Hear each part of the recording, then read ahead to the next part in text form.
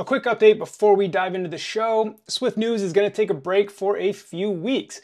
And that's because I got some traveling coming up in May anyway. Like I would have had to miss two weeks as it was. And I really want to get my next app out before WWDC, you know, that first week of June. And I'm working on my concurrency course. So I got a lot going on. So I'm pausing videos for a few weeks. But Swift News, we'll be back Monday, June 2nd, the Monday right before Dub Dub starts. And then, you know, that's where the fun begins. All right, so enjoy this last episode for a few weeks. Let's get into it. First up, we have Advice to My Younger Self by Geert Intveen. Sorry. But this is an article from someone who's been building apps for 15 plus years and just some really good advice in here.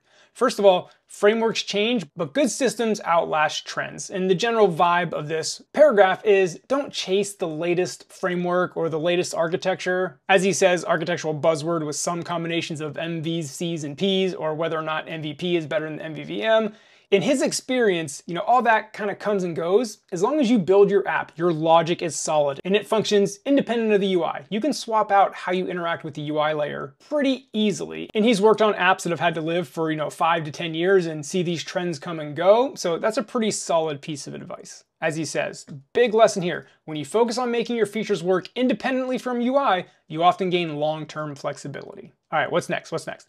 Uh, yes, reuse also comes from restraint. And I love this because I fell into this trap midway through my career. You want to make everything generic, everything reusable. And a lot of times that makes that component like more confusing than helpful. I'll read the first part of this section here. Early in my career, I thought reusable code meant making things more generic. I'd create base classes, add optional parameters, add support for every configuration that someone, big highlight here, might need. You're trying to future-proof for a future that probably will never come said it looked flexible on the surface, but in practice, it was harder to use, harder to understand, and rarely used in their full capacity. Basically, it was a piece of code that's watered down without a real purpose. What I've come to realize is that the strongest reusable components are not the ones that support everything, they're the ones that solve a few problems cleanly with a strong focus. So I echo that because like I said, I fell into this trap as well. I have created my fair share of reusable components that took in 7, 8, 9, 10 parameters and were completely customizable if you find yourself in that realm, there's probably a better way to do it. Rather than having one component that can do everything, break it down into a couple smaller components that are focused, that can do one set of problems well, and maybe instead of having one thing that can do everything, you know, three or four things that can solve the problem just as well, and that will be so much easier to use. All right, we'll do one or two more and then move on. Ah, hesitant with third-party dependencies.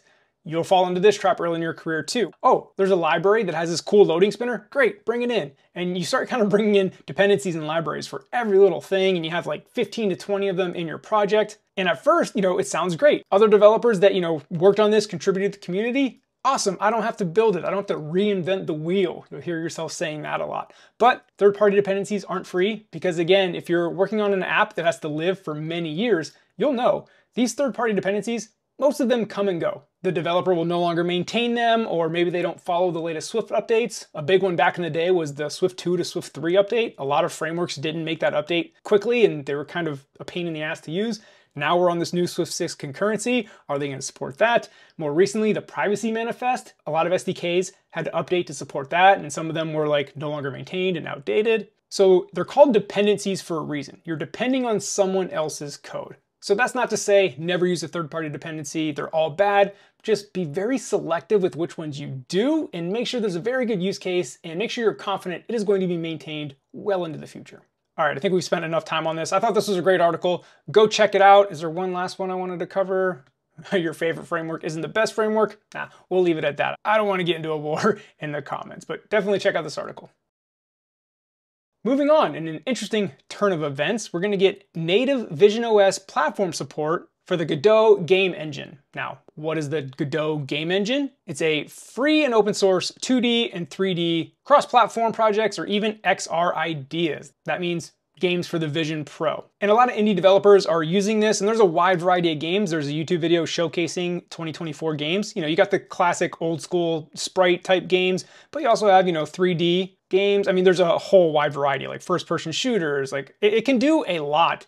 And there's gonna be new XR immersive experiences. And that's what we're talking about here. This is a Apple engineer, and he says, Dear Godot community, I'm on Apple's Vision OS engineering team, and we would like to contribute Vision Pro support for the Godot engine.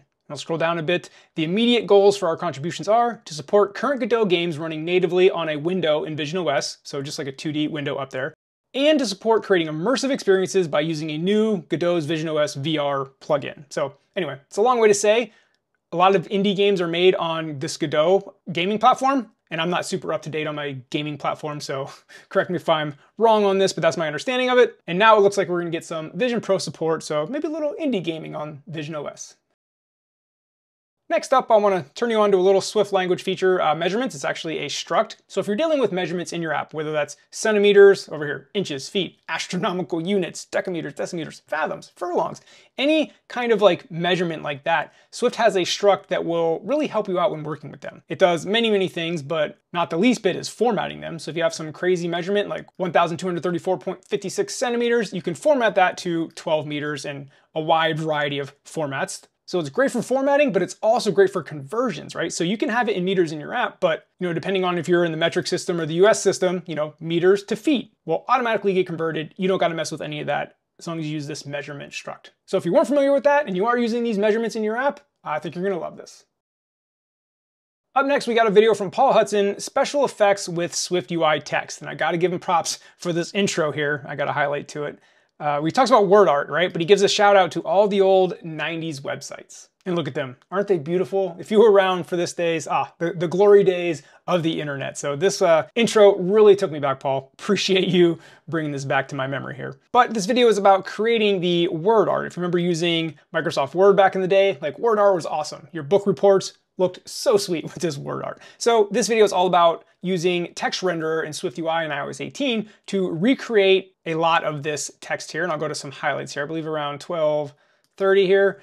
You know, you can use text renderer and then he gets into metal a little bit later, but just having fun with text. Now, of course, you may not use this exact shaky word art, but learning the techniques here, you'll probably be able to create some pretty cool stuff. And then if you want to be a wizard, I think at like 1930, this was like really, really cool. Looks like it's underwater word art. Again, that is using metal. So like I said, you're probably not gonna have this crazy word in your app, but learning these techniques and shaders and metal, uh, you'll just become a wizard with text, and I'm sure you can create some really cool stuff. Next up, we got a post on the Superwall blog from Jordan Morgan all about creating, testing, and releasing your first iOS subscription product on the App Store. Because look, it's intimidating enough as it is, like opening up Xcode, learning how to code, building your app. And just when you think you're done, like the app is built and you're like, great, let me get this thing on the App Store. And you're like, now what? that's a, it's a pretty complicated process, but that's what this article walks you through. I'll walk you through, here's the highlights. Basically, creating a new Apple developer account, create a new app in App Store Connect, create subscription products in App Store Connect, and you got to get those subscriptions approved. And then how do you show those subscription products on a paywall? Obviously, he's going to use Superwall, little branded post there. How do you test them out using TestFlight and then submit them and then get them live on the App Store and then your App Store screenshots, description. Like I said, Jordan Morgan will walk you through all of this, and it's a very visual article, right? You get screenshots all along the way to help you out arrows pointing to exactly what button to press, really holding your hand through this really intimidating process the first time you do it because you're so nervous. This is your app officially on the App Store. You're setting up people actually trying to pay you for a subscription. Like it's it's intimidating. I'm not gonna lie. The first time you ever do it, you're like, I hope I'm doing this right. So this article will help you out a ton if you find yourself in that situation. And lastly, we got a fun one for you, Flappy Swift. As you can see at the bottom, it's a WebAssembly game written in Swift. It's less than 100 kilobytes, but just press spacebar and it's basically Flappy Bird. Now, this game is really hard for me because I cannot help but read the code that are the pipes or try to figure out what the code is, right? Like var constant sum, uh, try, danger, if case, dot, success, and see then I hit, I hit it because I can't help but read the code on the pipe. But anyway, Hope you enjoyed this episode of Swift News. Again, we're taking a break for a few weeks. I'll see you at the beginning of June, just in time for Dub Dub.